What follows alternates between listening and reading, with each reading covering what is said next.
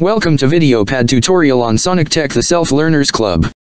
How to add watermark image or picture-in-picture video. A watermark image is a small image overlaid on one corner of a video, often partially transparent.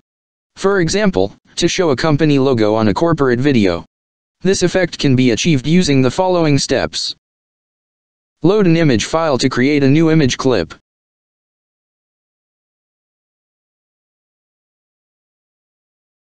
Overlay the image clip on the sequence by adding it to a video track above the background clip.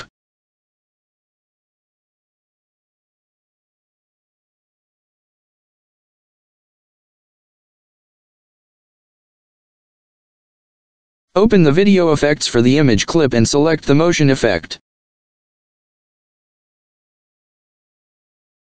Reduce the scale value to make the image smaller.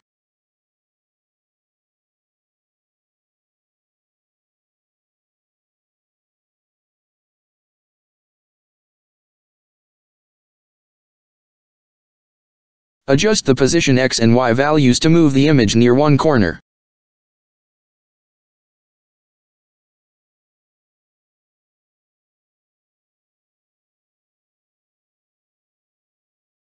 Add the transparency effect.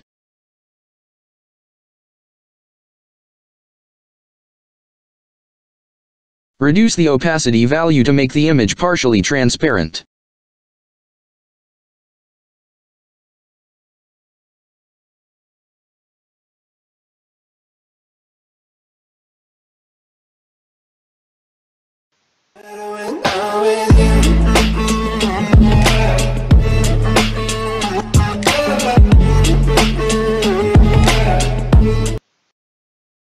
Picture-in-picture is similar to a watermark, but overlays a small video instead of a small image. For example, to show a close-up of someone giving a commentary of what is happening in the main video. This effect can be achieved using the following steps. Load a video file to create a new video clip.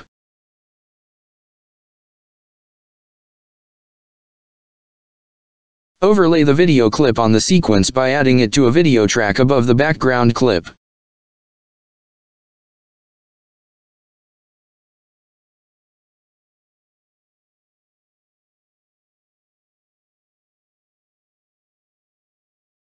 Open the video effects for the video clip and select the motion effect.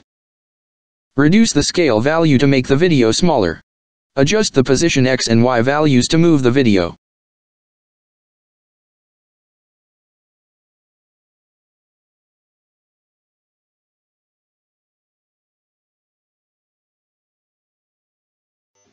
With